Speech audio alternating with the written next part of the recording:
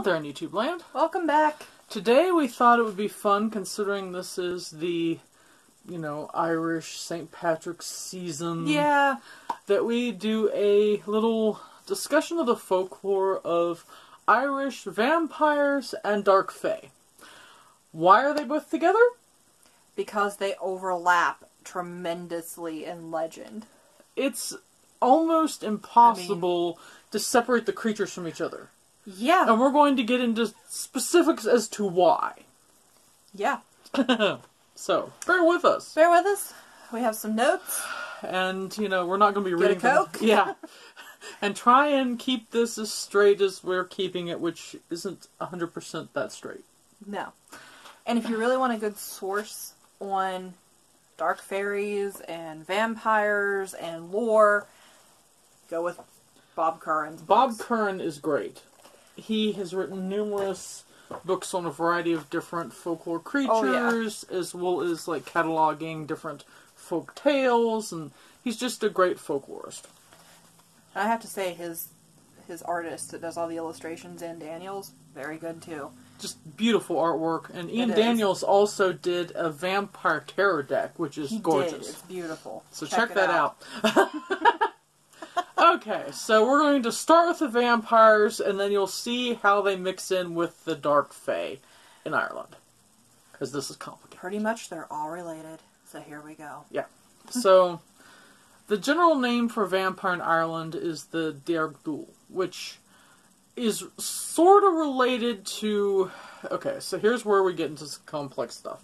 So, during the potato famine, people would, like, cut the necks of cows and stuff and mix the blood with, mm-hmm. like, oats and things so they'd have something to eat. People were starving to death, they were trying to survive while not killing all the animals, and so on and so forth. And that was a very old practice from ancient days, Yes. you know, with horses and cattle. So, So, in later times during the potato famine, there were some people that just got so used to drinking blood that they never stopped and kind of got addicted to it. So, loosely, they became known as Deargdul, even though they weren't supernatural by any means. They were just kind of addicted to drinking blood, essentially, Yeah. at that point.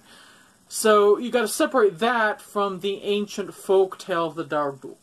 Okay, so now we're separating this out from the human. Now we step into the supernatural. Yes. So the Deargdul traditionally is an apparition that drinks blood, which you know is kind of a known thing for vampires. But okay, this is where we get into like combinations of things. Mm-hmm. Cormac McCarthy, who is known as like the head puka or the king of the puka. Puka are these supernatural beings that have a mouthful of teeth, also known as red caps.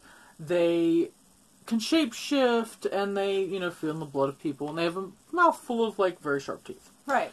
But they're also considered Deargdul because they're blood drinkers, which makes them Irish vampires. Sort even- of. Yeah. Now you get into some of the uh, calamities Yeah. that we've run into. Yeah. So underneath the heading of, you know, the Deargdul, there's also a creature called a Marbeo, which is translated as the Night Walking Dead. Which Cormac McCarthy and a few other figures that are known as Puka or Derdul are also considered Marbeo, except for the Marbeo is also the name of a female ancient fairy who drinks blood. Right. So then we move into the specific dark fairy lore, and you can see how all this is kind of amalgamated together. Now, with the dark fairy lore, you kind of will shift over into that, talking about the dark fairies who drink blood. We're up in County Kerry, Yeah. in Ireland, at a castle that was reported to have been found, but its location was never revealed. Um, it is the Castle of Blood Visage, or Visage. Um, supposedly and allegedly the home of some of these blood drinking dark fae. But the person that allegedly found it and was going to reveal it never did so. Hmm. Because he disappeared. Guess they got him. When we talk about some of the dark fairies, hmm. We're talking about the Sidhe, the High Elves, the Unseelie Court. So kind of that darker court, not Yes. the Seelie Court, which could also be very trickster. So don't don't think that they're the nice ones. They're not good and bad. No. Dark and Yeah, light means different things. things. Yeah. Um, we get into one of the most famous known, which is everybody knows her. She's the Banshee. Mhm. And she kind of overlaps in a couple of areas. Now, everybody knows the Banshee as the woman who wails prior to a death in the family. What we also don't know is that in some legends, they have her as kind of this apparition, ghost, vampiric style, misty figure that comes in, and she is allegedly either an older family member that has already passed and has come back, or she's just attached to that family until she collects the one who is going to die.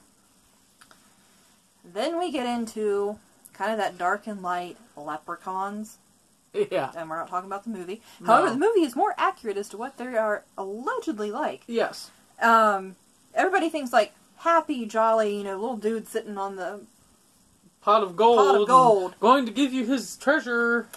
when by folklore they're quite grouchy and violent and not so much nice. No.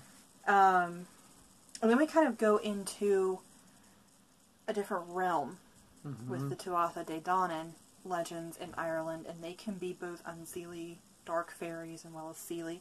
They were thought to be the forefathers of the fairies. Um, by some legends, they were quasi supernatural, but some of them also were reported to hunt down humans and drink blood. So now we get that overlap again. Yeah. So we have fairies who would be considered Dardul. Yeah. And then we get into more of your legends about, and I know people are, you guys are probably familiar with this, the Wild Hunt, or more specifically, the host of the hunt. And they were made up of a variety of not only your spectral hounds, also associated with vampiric lore, they also were made up of the host, which were the ghosts of the dead that they were collecting. And the people they ran over across the way. And yes, it is, you know, ride, hide, or die. Mm-hmm. So, that's kind of our small foray into Irish. vampiric folklore that overlaps with Dark Fae. So, I mean, basically, from this you can kind of get the generalization that Dark Fae and Irish vampires are the same thing. Yeah, Basically.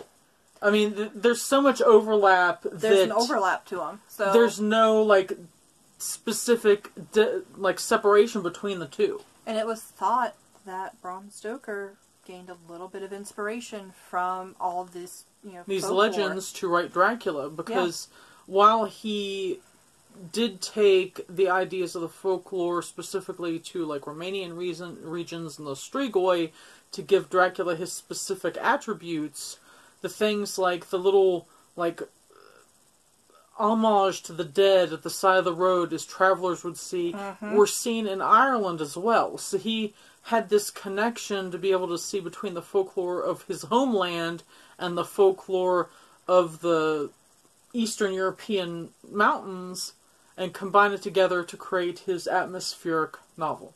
for Dracula. Yeah. because it's a good mix of, you know, a lot of forward Romanian vampiric lore, but there's an underlying vein of dark Irish fairies. Yeah. So we hope you had fun with this little foray into vampiredom. Look up things; it's fun. Yeah, I You mean, know, and get definitely look it. at Ian Daniels' art because Yes. it's just gorgeous. It's amazing. It is truly. So So, comment down below with what your favorite Irish vampiric figure is. let us know. Until next time. Bye. Bye.